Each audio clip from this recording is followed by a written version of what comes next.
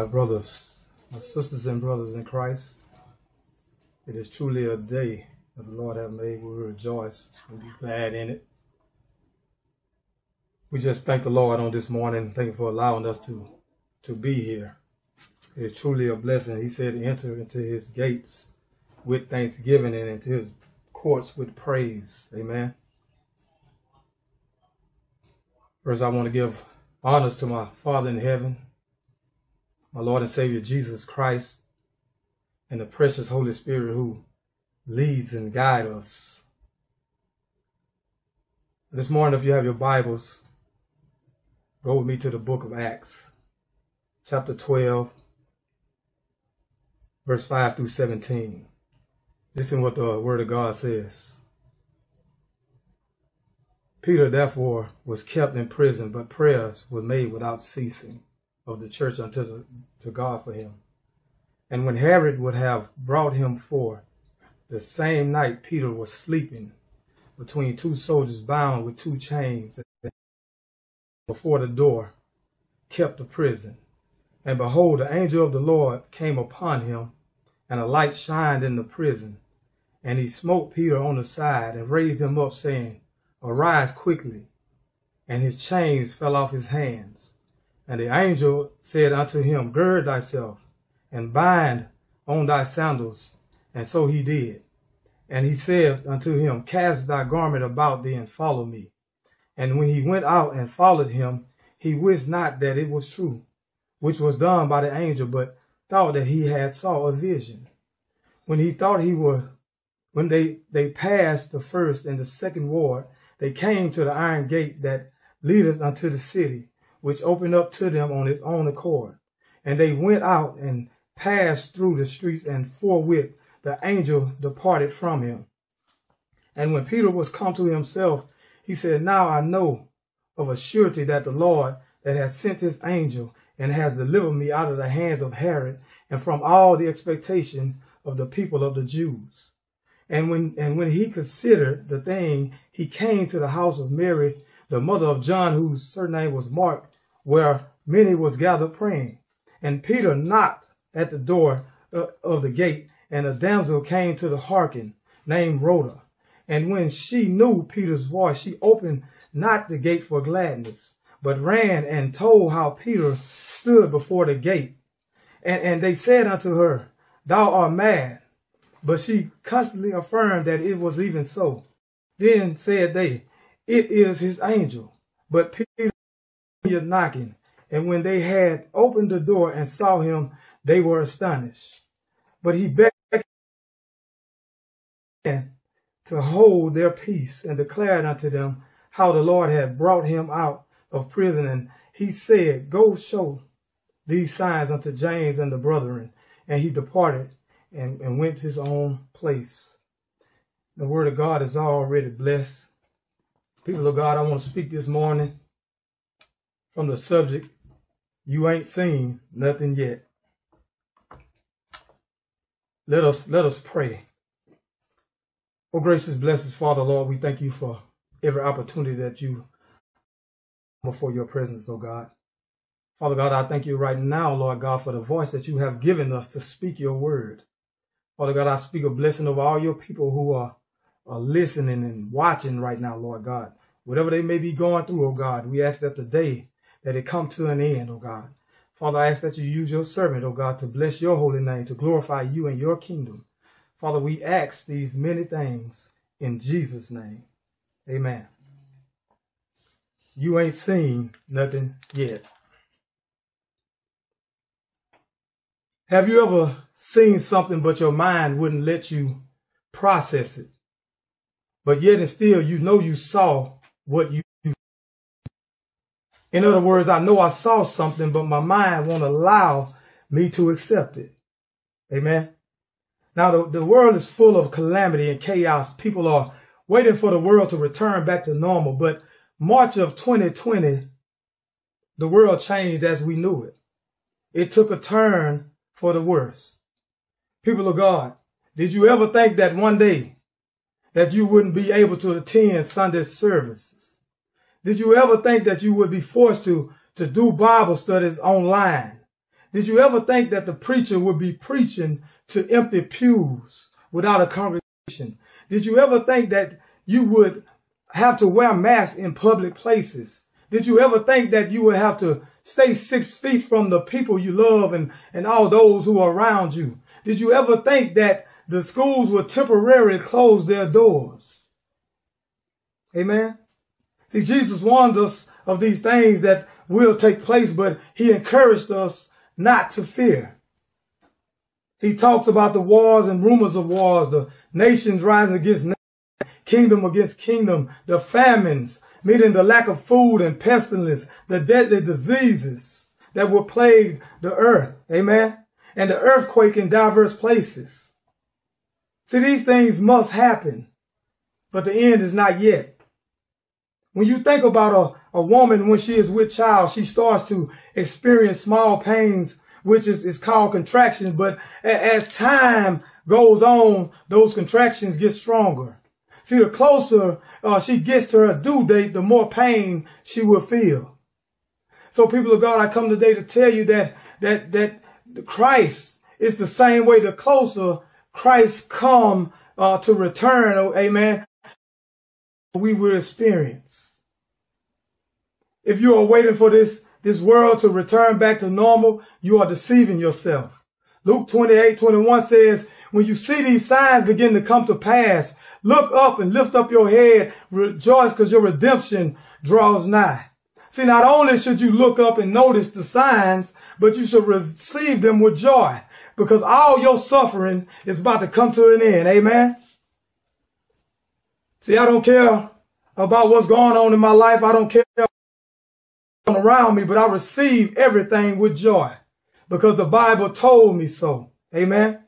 See, as I look around today, it reminds me of a, a runaway train with no brakes. This world seems to be spiraling out of control, but, it, but if you if you believe in your local government, I want to tell you today that your heart will be broken. Because the only way any one of us will survive if we lean not to our own understanding, but trust in the true and living God. Amen. So our main focus shouldn't be what we see, but focus on what we can't see. Second Corinthians 4.18 says we shouldn't uh, model, look at the things that we sit that we can see because they are only things that are temporal, but, but the things that we can't see are, are eternal. So the Lord encouraged us to, to focus on the things that we cannot see, which is the kingdom of God. Amen. Amen. Because the people who don't have a personal relationship with Jesus, they have to see it before they believe it. But I, I, there's nothing wrong with uh, wanting to see the facts, but as a born again believer, it, it, it, will be some things that you don't see, but you still have to believe. Amen. Amen. See, the Bible says that Jesus turned water into wine and that he fed the multitude with five loaves and two fish and he blessed it. I didn't see it, but I believe it because the Bible says so. Amen. Amen. Yes. See, just like the doctor said that I have no chance, but I know my God is a healer. I, I know I've been struggling with sin but I know my God is a, a deliverer. Yes. See, see, I know that I, have been sentenced to 20 years, but I've been set free. Amen. I, I know that my table has no food on it, but I know he's a provider. Yes. See, I don't know about you. If I look at my bank account and it says zero balance, I know my God is a waymaker. Yes. My God shall supply all my needs according to his riches and his glory. Even though I can't see it, I don't know how he's going to do it, but I know he will. Amen. Amen. Somebody tell you you ain't seen nothing yet. People of God, ever since this pandemic has introduced itself to, to society, it has wrecked families. The abuse rate has went up. But not only that, the suicide rate is at an all-time high because people can't cope with the new way of living. Social distancing has also played a part in this pandemic. As a matter of fact, this may be the biggest thing in this because we are social beings. And more people are turning to alcohol and, and it has created more times in the lives of, of many people, but they use it to glorify themselves instead of glorifying God. So they waste their time that they have been uh, granted. They tell us that the economy is doing better, but how can this be when every day jobs are being lost and people being laid off and stores and restaurants are closing their doors? Amen. Amen. Some people are in need of healings. Some are struggling in their finances. Many uh, marriages are in trouble. Some feel like they're all alone. But I came today to tell somebody that is truly a blessing to serve the God that we serve. Because the God that we serve is not dead. Yes. See, see, you ain't seen what God is about to do in your life. Can eye tell you that don't give up on that dream. Don't give up on that relationship. Don't give up on life. 1 Corinthians 2 9 says, I hadn't seen and the ear hadn't heard would enter into the hearts of man for those things that God loved for those who prepared him. Amen. Amen. See, Jesus said, I, I go to prepare a place for you. Tell somebody you ain't seen nothing yet. You ain't seen nothing yet. People of God, God is up to something. Even though we are in the midst of a pandemic, I believe restoration is on the horizon. God is restoring some things. He's restoring prayer lives. He's restoring uh, health. He's restoring relationships, not just earthly relationships, but but relationships about uh, the heavenly relationships. Oh yes, God is bringing them out. Amen.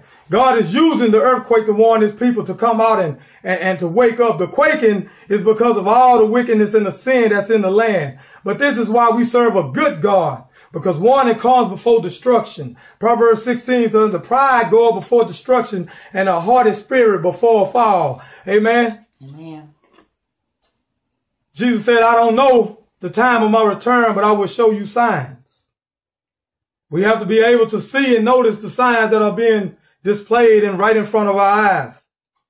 See, everything is not all bad, but it's not all good either. He said that there will be trials and tribulations in this life. Uh, John 10, 10 says it, it better. He said, but the thief cometh to kill, steal, and destroy. Jesus said, I come that you may have life and have it more abundantly. Somebody ought to be shouting hallelujah. Hallelujah.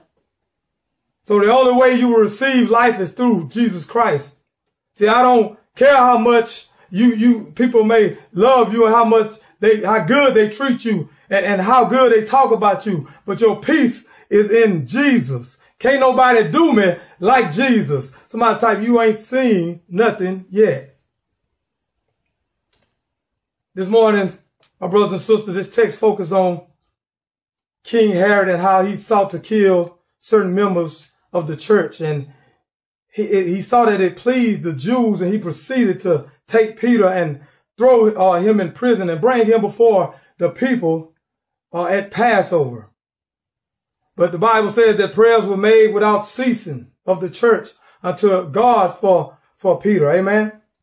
People of God, there's three things you will see happen when you pray on one accord. Number one, God will show up. Jeremiah 33 3 says, Call unto me, and I will show you great and mighty things that thou knowest not. And see, and the church began to call on the name of the Lord, and he showed up. 7 in the Amplified says, Suddenly an angel of the Lord appeared beside him and a light shined in the cell. And the angel struck Peter on the side saying, awaken, awaken, get up quickly. Verse eight, the angel said to him, prepare yourself, strap on your sandals and, and, and get ready for whatever may happen. The angel also told him to, to, to put on your robe, saints of God. God is saying, strap on your seatbelt. The ride is about to get rough. Prepare your hearts and your mind. Keep your garments clean. Amen. Yes. But if you, if you keep your mind on me, I will keep you in perfect peace. Yes. Somebody ought to shout hallelujah. hallelujah. I wish I had a witness. I wish I had a witness. Number two, you will witness the power of God. I believe we are in a time where God is about to release more of his power. I believe we are about to see miracle signs and wonders that, that, that the Bible talked about. Amen. You see, if you don't believe in the miracle signs and wonders, then you don't believe in the word of God. John 14, 12 said that he that believeth on me and, and the work that, that I do, he shall do also even greater because I go to the Father. See, those who seek after signs and those who want to see the blind eyes open and those who want to see the lame walk, Mark 16 told that the signs shall follow them that believe and in my name. Jesus said, in my name shall cast out devils and speak with new tongues. Amen. Amen. See, when God sent his angels, the Bible says that Peter didn't realize what was being done, but he thought that a vision. Peter said, I know now for sure that it was the Lord that sent his angels to deliver me. See, we, we, we have to take the limits off of God because the Bible says that we, we, we can do, uh, nothing is that nothing is impossible with God. So take the limits off. Stop putting them in a box. Amen. Amen. See, if you have faith to believe it, God have the power to do it. And, and number three, your prayers will get answered. People of God, God hears the prayers of his people. It's something about when you, you come together and, and pray. The Bible tells us to forsake not the assembling of yourselves together. We all know that the pandemic got us where we have to be separated, but how many know that there's no spirit, no distance in God's spirit? He designed uh, families and marriages and he designed the church and he intended for them to call to pray because he knows there's strength in numbers. Matthew 12, 25 said every kingdom divided against is, is brought to desolate and every city or house that divides against itself, it shall not stand. Amen.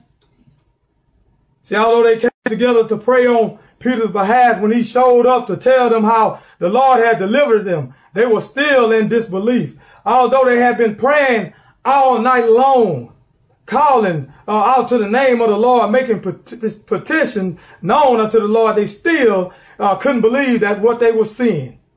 Amen. But people of God, if we be honest with ourselves, when we pray, sometimes we uh,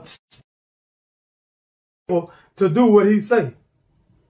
Sometimes we don't believe that God is capable of doing what he said he would do. Amen. Amen. But I know, I don't know about you, but I believe that prayer changes things. I believe when I pray, he hears me. Just because I can't see it, regardless of my outcome, I know he's still working on my behalf. Yes. James 5, 16 said, confess thou faults one to another. For pray ye for one another that ye may be healed. The affectionate and fervent prayer of the righteous man availeth much. Somebody type, you ain't seen nothing yet. You ain't seen nothing yet. Brothers and sisters, as I prepare to close, I want you to know that what you are illusion. The world wants to enslave you to fear. The world wants us to bow down to its, its agenda.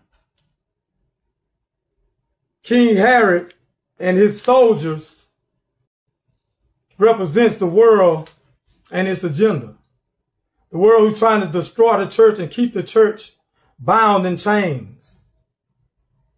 They want you to compromise and be conformed to this world, to this kingdom. And the plan is to, to, to do it by fear and control for, for someone who don't know the Lord and someone who has not a relationship with him, they always depended on themselves or somebody else. Uh, Romans 12, 2 says, be not conformed to this world, but be ye transformed by the renewing of your mind. But, but how many know that every knee will bow and every tongue will confess that Jesus Christ is Lord? People of God, I want to encourage you today to stand up to the enemy in the name of Jesus. Yes. We are overcomers. We are more than conquerors through Christ Jesus. So don't let what you see determine what you believe. Don't let what you see determine your faith. Amen. Amen. See, we ought to walk by faith and not by sight. When you call on the name of the Lord, may not come when you want him, but he's always on time. Yes. I believe in the power of God and, and know that he still works miracles today. I believe in the power of God. I know that he, he still answers prayers today. That thing that you've been waiting on, that thing that you've been praying for, whatever's been bothering you, been hindering you, we command it to go in the name of Jesus. Yes. We know that he's able to deliver his people, to set you free. His blood came and cleansed us all and made us all righteousness. Amen. I, I thank you. I thank you, Lord, for doing what you do, oh God, in our lives, oh God. Somebody say you ain't seen nothing yet. People of God, I just hope today that you have been blessed by this message. And I want to encourage you that this world won't get any easier. But if we stay covered in the blood of Jesus, we know that we are healed. We know that we are set free. We know that we are delivered. So don't let this world and, and, and the, the tricks of the enemy uh, place you in a, a, a bondage of, of fear. And, and, and, and we just know that we have to stay in his presence under his covenant. We know that we have to stay uh, prayed up. We have to believe in God's power and that he would do that what he said he would do. Now, I know uh, sometimes we look around and things just don't look right. And I know sometimes every time you turn around, you are being bothered. And because we know that the times are, are near. And we know that we ain't seen nothing yet because our Lord and Savior, when he come back to, to, to rapture his people, we won't have to worry about this old uh, barren, barren land. We are just strangers passing through. Amen. Amen. I thank you, you all for watching.